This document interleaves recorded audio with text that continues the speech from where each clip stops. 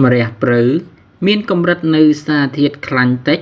សម្បូរទៅដោយសារធាតុការពារប្រតិកម្មអុកស៊ីតលើសពីនេះទៀតវាមានផ្ទុកទៅដោយវីតាមីនជាច្រើនប្រភេទដូចជាវីតាមីន A វីតាមីន C វីតាមីន K និងសារធាតុទង់ដែងកាល់ស្យូមដែកនិងអូមេហ្គា3សារធាតុទាំងអស់នេះ គឺជាវត្ថុធាតុផ្សំដ៏ល្អបំផុត នៅក្នុងការថែរក្សារាងកាយឲ្យមានសុខភាពល្អបាទ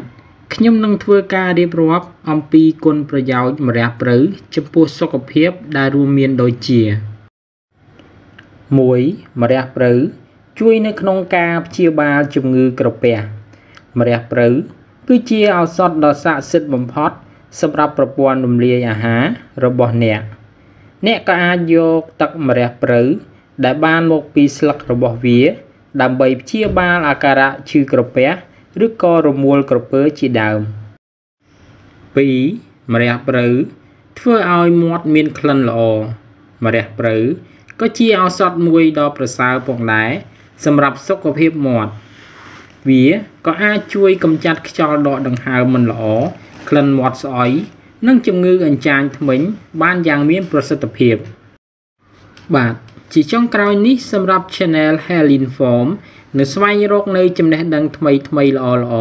ដែលពាក់ព័ន្ធទៅនឹងសុខភាព ដើម្បីចែករំលែកជូនទៅដល់ពុកម៉ែបងប្អូន នៅឱកាសក្រោយៗទៀតដូច្នេះប្រសិនបើពុកម៉ែបងប្អូន ស្រឡាញ់និងចូលចិត្តនៅ Channel Helin Form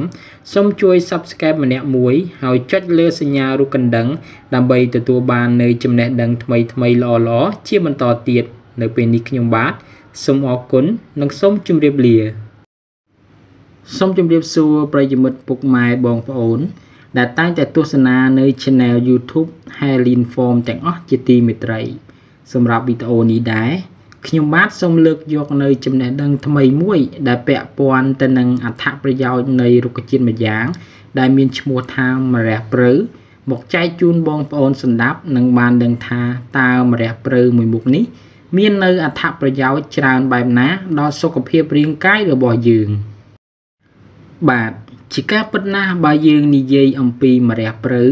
វាគឺជាប្រភេទជីម្យ៉ាងដែលមានក្លិនក្រអូប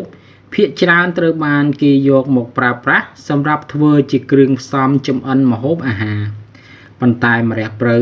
ក៏ជារុក្ខជាតិម្យ៉ាង ដែលគេយកមកប្រើប្រាស់ធ្វើជាឱសថដ៏ពូកែស័ក្តិសិទ្ធិផងដែរសម្រាប់សុខភាព ស្លឹកនិងផ្កាម្រះព្រៅមានផ្ទុកទៅដោយសារធាតុចិញ្ចឹមជាច្រើន ដែលអាចជួយការពារប្រឆាំងទៅនឹងជំងឺ និងជួយឲ្យរាងកាយមានសុខភាពល្អ